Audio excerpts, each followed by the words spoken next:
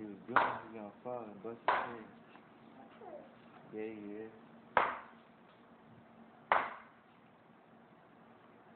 Black boys ain't got no business riding skateboards anyway.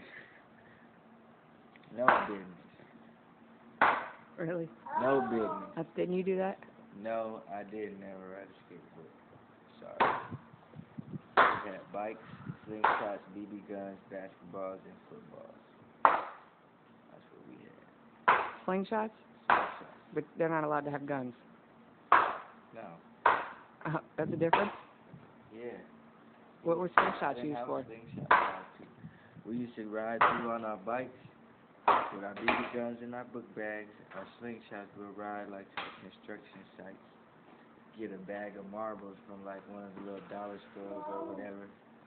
Take the slingshot and just start shooting out all the windows. There was a big old dirt hill right there construction guys run up to the top of the hey, you kids.